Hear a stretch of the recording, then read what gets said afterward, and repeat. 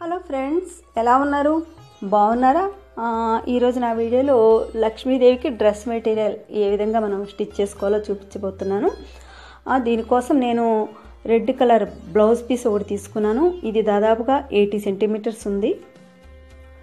తర్వాత దీనికి నేను లైనింగ్ క్లాత్ ఒకటి నేను తీసుకున్నాను. ఇది కూడా అంతే ఉంది. ఒక ఎయిటీ సెంటీమీటర్స్ ఉంది. తర్వాత ఈ రెడ్ కలర్ క్లాత్కి స్టిచ్ చేసుకోవడానికి నేను ఒక లేస్ తీసుకున్నాను. ఇది గోల్డ్ కలర్ లేసు. తర్వాత చున్నీ కోసం నేను గ్రీన్ కలర్ది ఒకటి తీసుకున్నాను. దీనికి కూడా స్టిచ్ చేయడానికి లేస్ ఒకటి తీసుకున్నాను. ఇది కూడా ఒక గ్రీన్ అండ్ గోల్డ్ కలర్లో షేడ్లో ఉందన్నమాట ఇది. తర్వాత ఇంకొక లేస్ కూడా తీసుకున్నాను. ఇది పూర్తిగా గోల్డ్ కలర్ అనమాట ముందుగా నేను ఈ రెడ్ కలర్ క్లాత్ ఉంది కదా ఇలా ఫోల్డ్ చేసుకున్నాను. ఫోల్డ్ చేసుకున్న తర్వాత పొడవు ఎంత కావాలో నేను అంత మెజర్మెంట్ తీసుకుంటాను. ఇదిగోండి ఇంత కావాలనుకున్నాను. సో ఇంత తీసుకున్నాను నేను.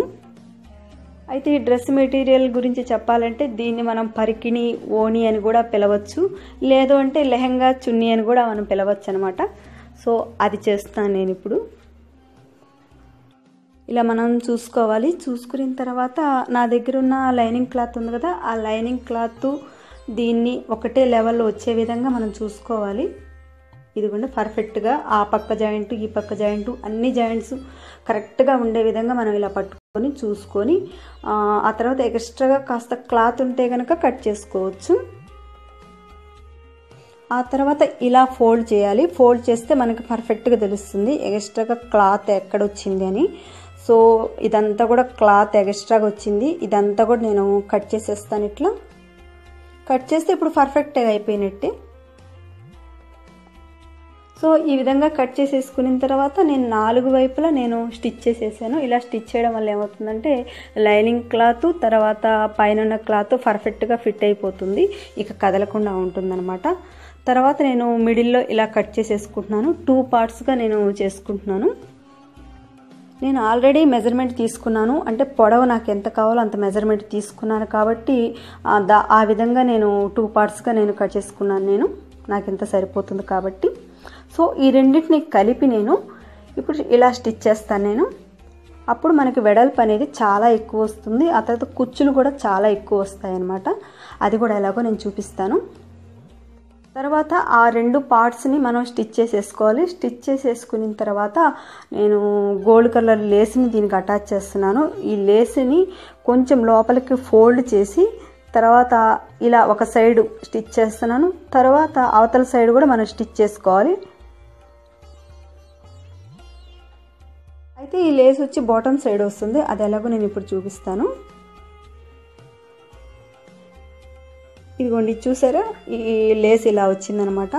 తర్వాత వీటన్నిటిని కూడా ఇలా నేను ఫోల్డ్ చేసేసుకుంటున్నాను చక్కగా. అంటే చాలామంది ఎలా చేస్తారంటే మిషన్ మీద పెట్టి ఫోల్డ్ చేస్తారు. సో బిగినర్స్ వాళ్ళకి కొంతమందికి రాదు కదా. అది కూడా పర్ఫెక్ట్ షేప్లో మనకి ఫోల్డ్స్ అనేవి రావాలన్నమాట. సో అలా రానప్పుడు మనం ఇలాంటి గుండు సూదులు తీసుకొని ఇలా మనం కొంచెం ఫోల్డ్ చేసి పర్ఫెక్ట్గా ఎంత కావాలో వన్ సెంటీమీటర్స్ టూ సెంటీమీటర్స్ కావాలా ఫోల్డ్స్ అని చూసుకొని ఆ విధంగా మనం గుండు సూదులు అనే వాటిని ఇలా అటాచ్ చేసేసుకోవాలన్నమాట. చాలా ఈజీగా అయిపోతుంది. తర్వాత నేను ఒక లైనింగ్ క్లాత్ తీసుకున్నాను గ్రీన్ కలర్ లైనింగ్ క్లాత్ తర్వాత గ్రీన్ కలర్ క్లాత్ ఉంది కదా ఇవి రెండింటిని కూడా నేను ఇప్పుడు జాయింట్ చేసేస్తాను. ఇది పట్టీలాగా వేయటానికని. ఇదిగోండి ఇలా స్టిచ్ చేసేసుకుంటున్నాను నేను. యువతల సైడు తర్వాత అవతల వైపు కూడా నేను స్టిచ్ చేసేస్తాను. ఇప్పుడు స్టిచ్ చేసిన తర్వాత నేను మీకు చూపిస్తాను. ఇదిగోండి ఇలా స్టిచ్ చేసేసుకున్నాను. స్టిచ్ చేసుకున్న తర్వాత ఆల్రెడీ నేను గుండు సూదులతో నేను అటాచ్ చేసుకున్నాను కదా రెడ్ కలర్ క్లాత్ని.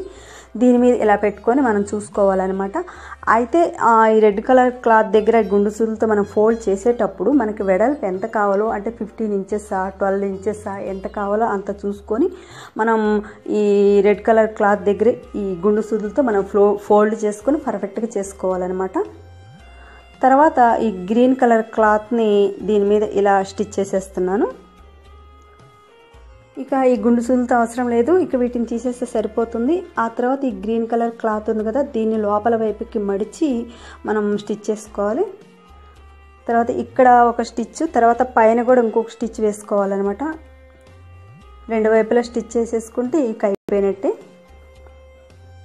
చూసారు కదా క్లాత్ చాలా బాగా వచ్చింది కదా ఇప్పుడు కుచ్చులతో పాటు కింద వైపు వచ్చేసి లేసు పైన వచ్చేసి గ్రీన్ కలర్ క్లాత్తో నేను అటాచ్ చేశాను కదా. సో ఎక్స్ట్రాగా కొంచెం క్లాత్ అనేది ఉంచాను కదా గ్రీన్ కలర్ క్లాత్. ఇది ఎందుకంటే మనం కలిసిన దగ్గర ఇలా పెట్టిన తర్వాత కొంచెం ముడి వేయడానికి బాగుంటుందని కొంచెం ఎక్స్ట్రాగా నేను క్లాత్ ఉంచాను.